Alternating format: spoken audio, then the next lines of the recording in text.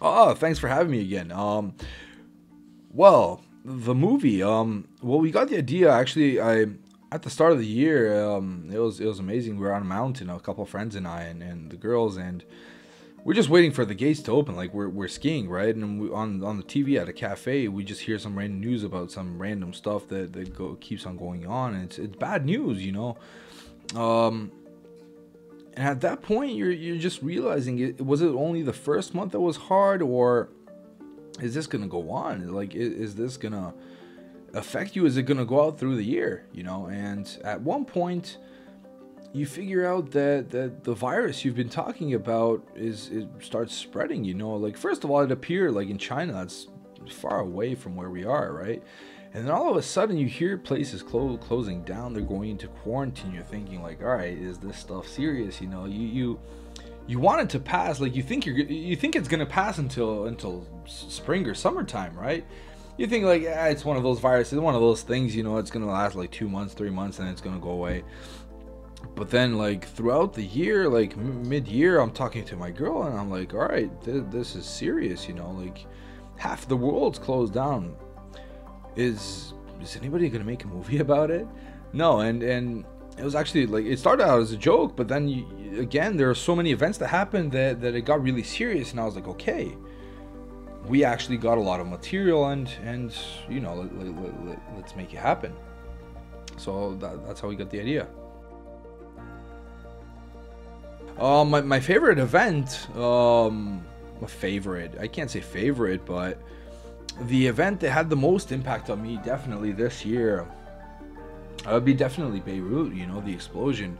And the reason for that was because out of all the events that happened, this one was actually the one that was caught live from a lot of phone cameras, people randomly filming stories. You know, like when you're taking out the videos throughout the whole year, trying to put them into one movie, one film, you realize that there's more than 50 videos in in the whole year, like more than 50 events that actually happen, and you know that you can't put all the 50 videos because it, it's the the movie would just last too long.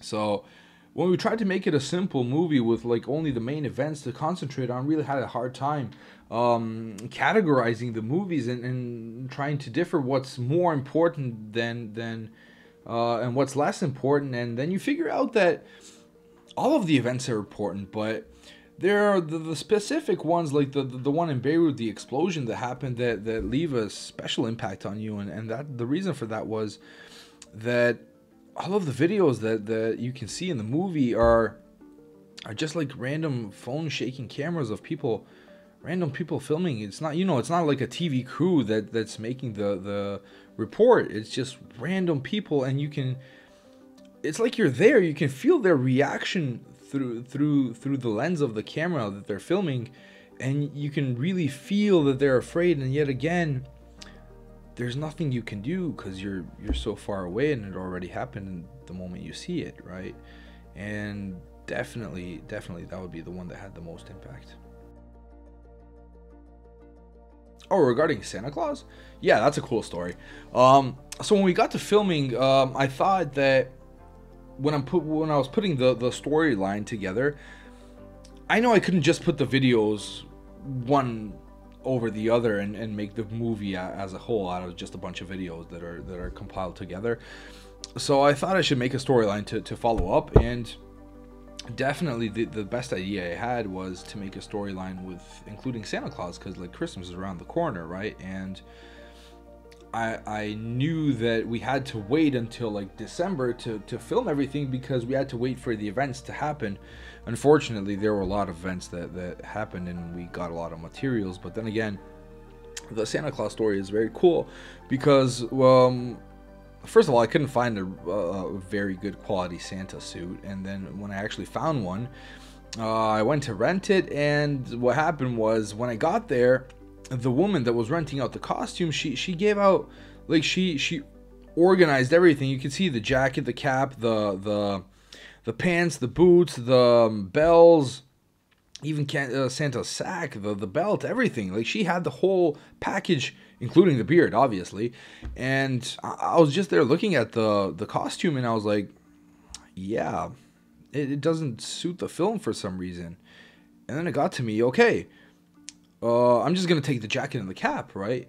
And when the woman was like, like, what do you need it for? Like, usually everybody takes the whole whole thing, right? And that's where I got the idea.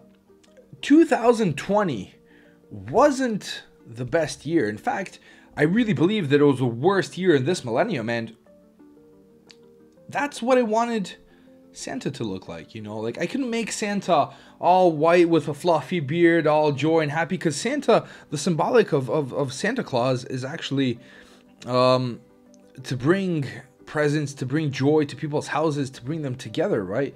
But in this case, you have a Santa that's also worn out throughout the year that, that represents the year in whole, right? But then again, he's Santa Claus and and that's where that's where you get the symbolic that he could actually not be so good at the part of year. And when I told the woman that I don't even want the like, you know, I don't want the beard, I don't want the pants, I don't want the boots, you know. I'll just take the jacket and the cap and and then she was like, "All right, what do you need it for?" I was a movie. All right. And then she's like, "But you like Santa has a white beard." Yeah, okay. I'll I have a black beard and, and my at the time my beard was much longer than this. And I thought, okay, Santa's gonna have a black beard. You know, it's it's not the best year. It's it's just the contrast I want to put in. You know, and and that's how I got the idea. And hopefully you guys liked it. Hopefully you you realize the symbolic of of the whole Santa project. Yeah, the movie was definitely inspired in some way. Like every every I think every movie is inspired by something. You know, you have to have an idea to, to make it to make it happen. And when when I thought about the storyline, not exactly the compiling of the events that happened, but the storyline, which is gonna follow through with with uh, Santa Claus and, and his his girlfriend or or or whatever she I didn't even define her in the movie, but uh, whatever she is, I thought about the story that happened to me that year. Like what what happened, how my life went through that year, how I had the ups and downs, what happened to me, and how I got through it all. You know, like it's it's it was a very inspiring point um, to put that into the movie. Now I'm not gonna tell you what really happened in my life, but you can you can kind of um, figure some parts out by by watching the movie, right? At least my part of it. Um, yeah, so yeah, I definitely was inspired by by some of my life events that happened this year.